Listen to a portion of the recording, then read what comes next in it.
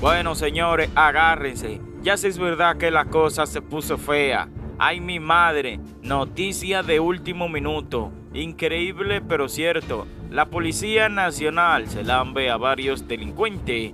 Quédate hasta el final para que te dé cuenta de todos los detalles.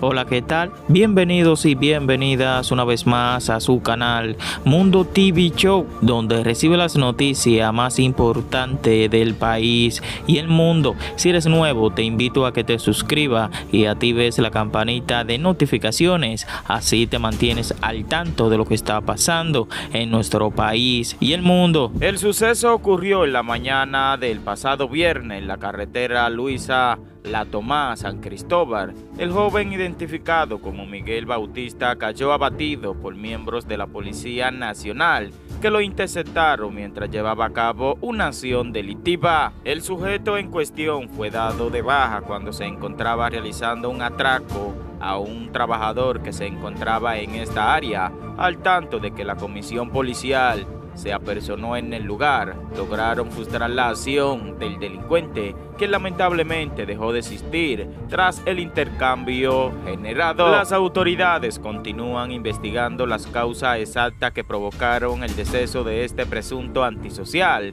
paz a su alma y nuestra más sincera condolencia a los familiares. Bueno, señores, ya sé es verdad que están cayendo los delincuentes uno por uno. Es algo increíble lo que está haciendo la policía.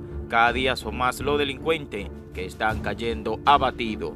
¿Qué opina usted sobre el trabajo que está llevando a cabo la Policía Nacional? Cualquiera que sea tu opinión, déjamela saber en la caja de comentarios porque tu opinión cuenta. Pero eso no es todo, señores. Ahora es que falta Por otra parte, identificado nacional haitiano abatido por la policía. Según la institución del orden, el extranjero era un supuesto delincuente. Fue identificado por la Policía Nacional un supuesto delincuente de nacionalidad haitiano, quien fue abatido mediante un intercambio de disparo con miembro de esa institución. El extranjero fue identificado como el Nerio Jen Cementi, alias Chocolate, de 23 años de edad, mientras que otro joven que lo acompañaba, quien resultó herido durante el enfrentamiento, fue identificado como Luis Felipe Marte Angusti, de 20 años. Bueno, señores, ya si es verdad que los delincuentes no se están saliendo con la suya, cada día son más los que caen abatidos por la Policía Nacional. ¿Qué opina usted sobre esta noticia? Cualquiera que sea tu opinión, Déjamela saber en la caja de comentarios, porque tu opinión cuenta. Dado Radames Camacho.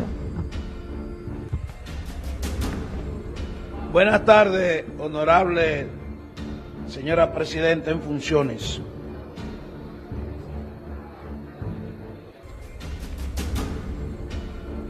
En esta tarde nosotros asistimos a conocer la ley de bonos,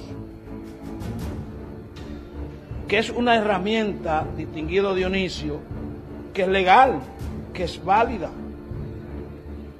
Pero la constitución dice que usted se puede embargar en función de la sostenibilidad.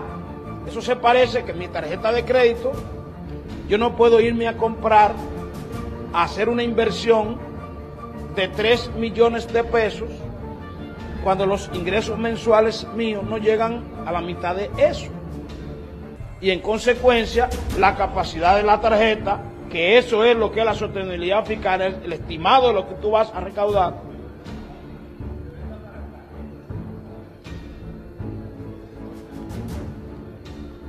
no me permite pagar.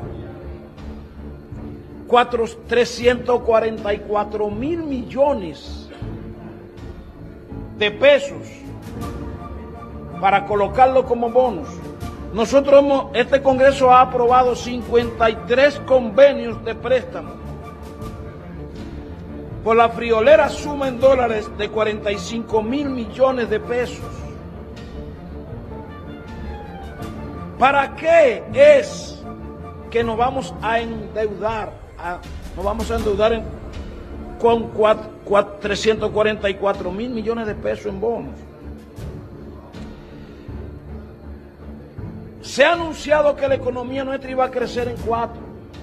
Los datos que se manejan hoy es que quizá lleguemos al 2.5.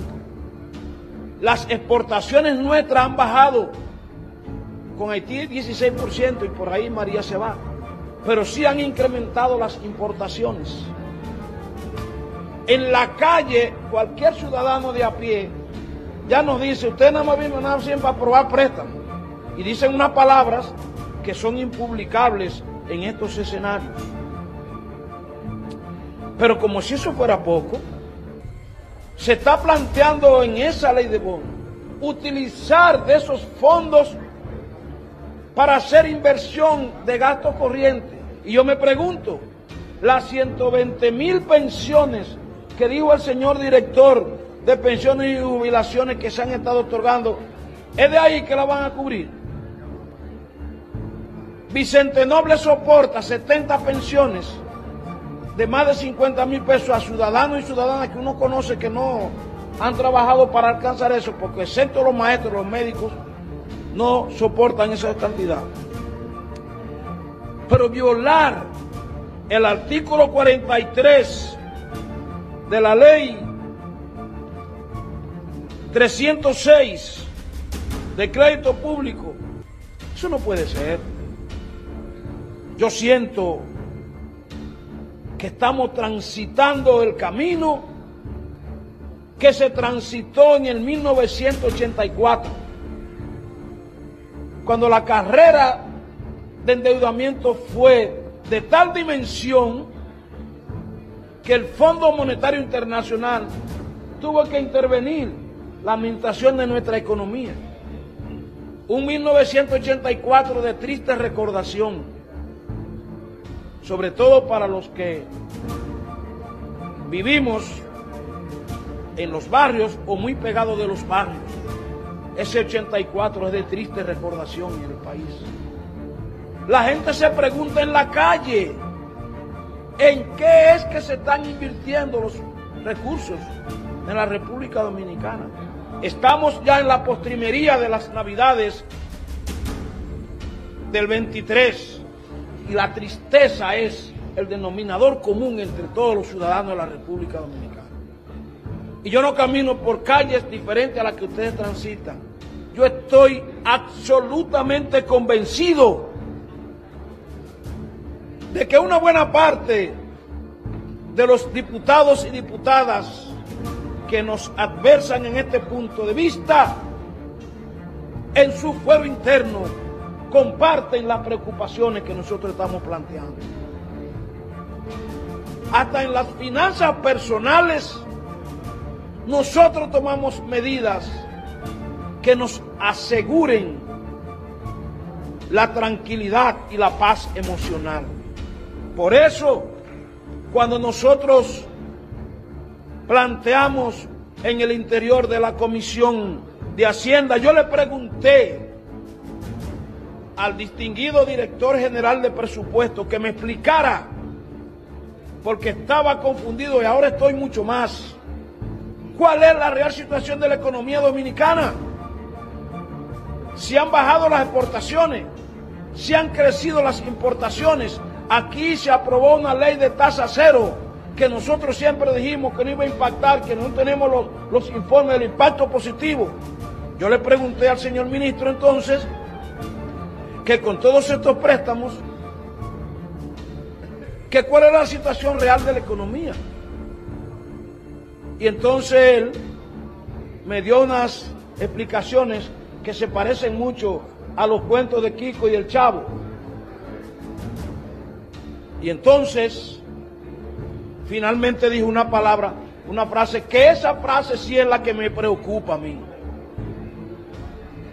Él dijo, cito, si no se aprueba esa ley de bono, vamos a tener que cerrar el país. ¿Y tú sabes lo que significa cerrar el país? Decir eso el director de presupuesto.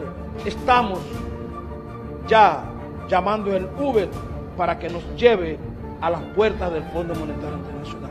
Por eso yo reitero aquí, en nuestra calidad de ciudadano, que he transitado la ruta completa de la defensa, no solamente aquí en los micrófonos, allá en el terreno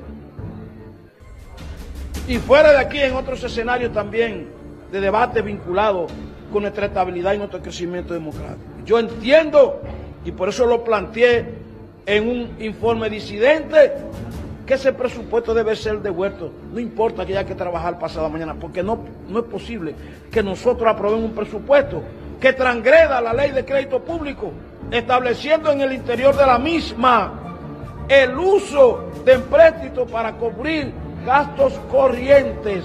Y vuelvo y me pregunto, ¿es de ahí que van a cubrir las 120 mil pensiones que el señor director de pensiones y jubilaciones ha dicho?